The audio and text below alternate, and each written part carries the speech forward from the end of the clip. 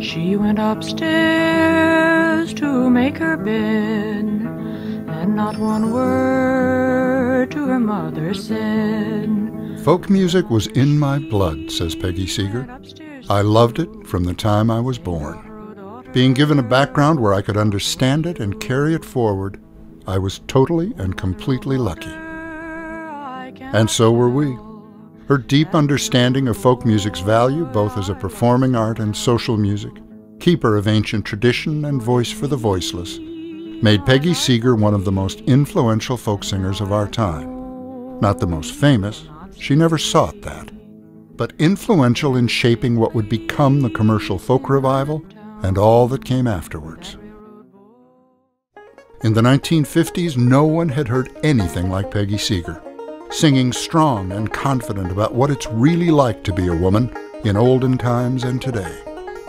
And oh my, is that a girl playing a banjo? Well, she wouldn't say yes, wouldn't say no. All she do is just set and sew. Set and sew, set and sew. All she do is just set and sew.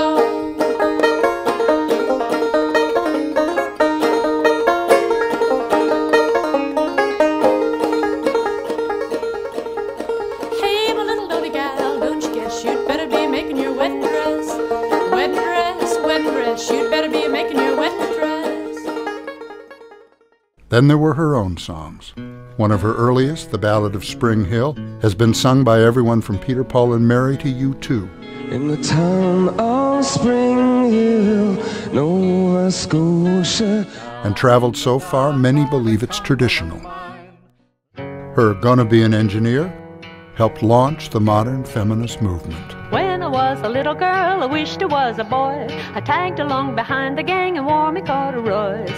Everybody said I only did it to annoy, but I was gonna be an engineer. It's a good thing Peggy liked folk music, or she would have had a miserable childhood. It was everywhere. Her father, Charles Seeger, was a towering figure in the folk movement a collector and scholar who virtually invented the field of ethnomusicology. Her mother, Ruth Crawford Seeger, wrote brilliantly simple, authentic transcriptions for classic folk songbooks by John and Alan Lomax, B.A. Botkin, Carl Sandburg, and her own children's collections that were sung by millions. The family sang in the evenings by themselves or with guests who dropped by like Leadbelly Ledbetter and Woody Guthrie, and of course older half-brother Pete Seeger. Whenever Pete dropped by, Ruth let the kids stay home, reasoning they'd learn more from him than their teachers. Even getting lost in a department store when she was seven brought Peggy closer to folk music. A female employee returned her to her mother, who hired her on the spot as their housekeeper. She was Elizabeth Cotten, of Freight Train and Shake Sugaree fame, and was soon teaching guitar to Peggy and her brother Mike.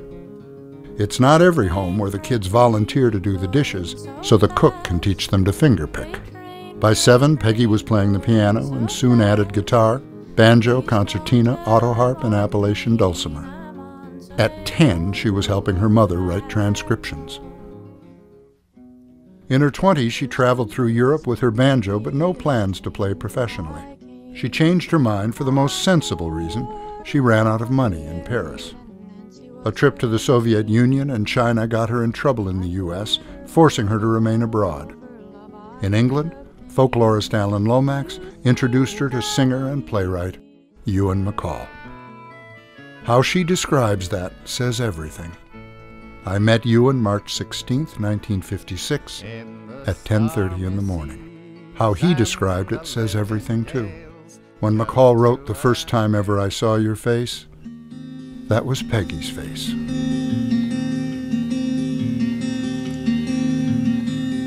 The first time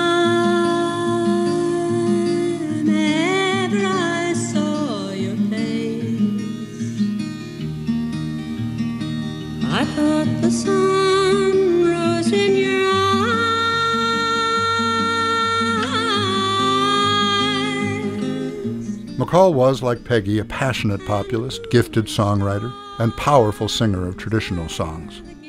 It was a partnership from the very beginning, Peggy says. For over 30 years, they worked, sang, and toured together while raising three children. They became the first family of British folk music just as the Seegers were in America. And they wrote powerful topical songs, sometimes for concert halls, sometimes for protest rallies, about war and peace, the environment, civil rights, and workers' rights. Peggy brought a keen wit to her political songs, fuming about why being a housewife is not considered a job, and suggesting a proportional response to rude smokers farting. With wages so low, prices so high, budgeting must be meticulous. The hours I spend in looking for bargains and them is really ridiculous. And though my man's doing all that he can, what he brings home isn't making ends meet, and I'll have to go out for a wage myself if the family's going to keep eating. For a satirical revue in 1970, she wrote Gonna Be an Engineer about the social expectations that kept so many women from following their dreams. Economy.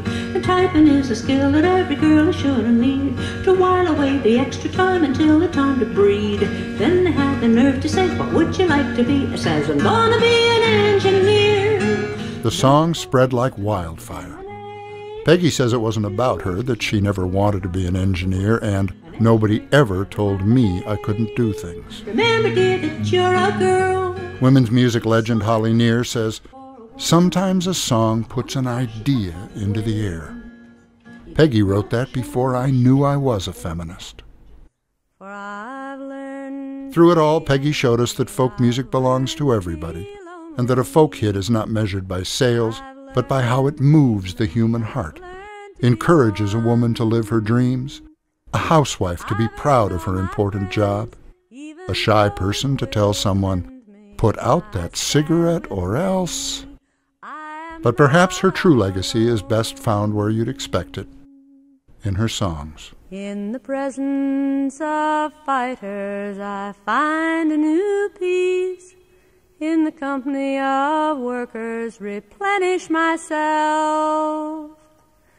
Of miners and weavers, of rebels and dreamers.